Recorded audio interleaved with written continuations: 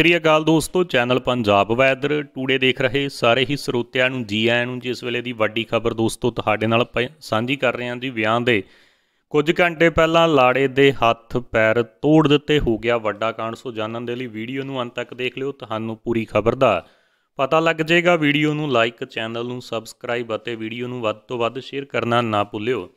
ਅਜਿਹਾ ਇੱਕ ਮਾਮਲੇ ਸਾਹਮ ਮਾਮਲਾ ਸਾਹਮਣੇ ਆਇਆ, ਜਿੱਥੇ ਲੁਟੇਰਿਆਂ ਦੇ ਵੱਲੋਂ ਅਜਿਹਾ ਕਾਂਡ ਕਰ ਦਿੱਤਾ ਗਿਆ, ਜਿੱਥੇ ਵਿਆਹ ਤੋਂ ਕੁਝ ਘੰਟੇ ਪਹਿਲਾਂ ਲਾੜੇ ਦੇ ਹੱਥ ਪੈਰ ਤੋੜ ਦਿੱਤੇ ਗਏ ਨੇ। ਮਾਮਲਾ ਹਿਸਾਰ ਤੋਂ ਸਾਹਮਣੇ ਆਇਆ, ਜਿੱਥੇ ਹਿਸਾਰ ਦੇ ਹਾਂਸੀ ਦੇ ਵਿੱਚ ਵਿਆਹ ਤੋਂ ਕੁਝ ਘੰਟੇ ਪਹਿਲਾਂ ਲਾੜੇ ਤੇ ਕੁਝ ਅਣਪਛਾਤੇ ਲੋਕਾਂ ਦੇ ਵੱਲੋਂ ਹਮਲਾ ਕਰ ਦਿੱਤਾ ਗਿਆ। ਉਸ ਦੇ ਕੋਲੋਂ ਲੱਖ ਰੁਪਏ ਦੀ ਨਕਦੀ ਲੈ ਕੇ ਦੋਸ਼ੀ ਫਰਾਰ ਹੋ ਗਏ।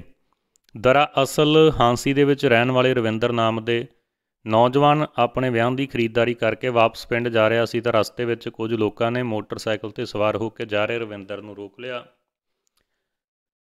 ਫਿਰ ਉਸ ਦੇ ਉੱਤੇ ਹਮਲਾ ਕਰ ਦਿੱਤਾ, ਜਿਸ ਦੇ ਚੱਲਦੇ ਲਵਿੰ- ਰਵਿੰਦਰ ਦੀ ਇੱਕ ਲੱਤ ਤੇ ਇੱਕ ਹੱਥ ਟੁੱਟ ਗਿਆ। ਫਿਰ ਲੁਟੇਰੇ 2 ਲੱਖ ਰੁਪਏ ਦੀ ਨਕਦੀ ਲੁੱਟ ਕੇ ਮੌਕੇ ਤੋਂ ਫਰਾਰ ਹੋ ਗਏ। ਰਵਿੰਦਰ ਨੂੰ ਇਲਾਜ ਦੇ ਲਈ ਹਸਪਤਾਲ ਦੇ ਵਿੱਚ ਦਾਖਲ ਕਰਵਾਇਆ ਗਿਆ। ਘਟਨਾ ਦੇ ਵਾਪਰਨ ਤੋਂ ਬਾਅਦ ਆਸੇ-ਪਾਸੇ ਦੇ ਲੋਕਾਂ ਵਿੱਚ ਡਰ ਅਤੇ ਸਹਿਮ ਦਾ ਮਾਹੌਲ ਪਾਇਆ ਜਾ ਰਿਹਾ। ਉੱਥੇ ਇਸ ਘਟਨਾ ਦੇ ਵਾਪਰਨ ਤੋਂ ਬਾਅਦ ਪੁਲਿਸ ਨੂੰ ਸ਼ਿਕਾਇਤ ਦਰਜ ਕਰਵਾਈ ਗਈ ਆ। ਪੁਲਿਸ ਵੱਲੋਂ ਹੁਣ ਮਾਮਲਾ ਦਰਜ ਕਰਕੇ ਅਗਲੀ ਕਾਰਵਾਈ ਸ਼ੁਰੂ ਕਰ ਦਿੱਤੀ ਗਈ ਹੈ।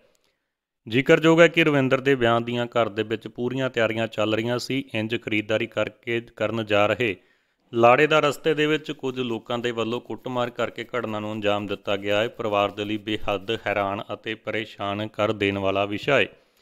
ਹੁਣ ਪੀੜਤ ਪਰਿਵਾਰ ਦੇ ਵੱਲੋਂ ਪੁਲਿਸ ਦੇ ਕੋਲੇ ਇਨਸਾਫ ਦੀ ਗੁਹਾਰ ਲਾਈ ਆ। ਸੋ ਵਿਆਹ ਤੋਂ ਕੁਝ ਦਿਨ ਪਹਿਲਾਂ ਹੀ ਲੜਕਾ ਬਾਜ਼ਾਰ ਦੇ ਵਿੱਚੋਂ ਸ਼ਾਪਿੰਗ ਕਰਕੇ ਕੱਲਾ ਮੋਟਰਸਾਈਕਲ ਤੇ ਵਾਪਸ ਆ ਰਿਹਾ ਸੀ। 2 ਲੱਖ ਰੁਪਏ ਦਾ ਕੈਸ਼ ਜਿਹੜਾ ਨਾਲ ਲੈ ਕੇ ਘੁੰਮ ਰਿਹਾ ਸੀ। ਤੁਹਾਡੇ ਕੀ ਵਿਚਾਰ ਨੇ? ਤੁਸੀਂ ਕਮੈਂਟ ਸੈਕਸ਼ਨ ਦੇ ਵਿੱਚ ਰੱਖ ਸਕਦੇ ਹੋ। ਧੰਨਵਾਦ।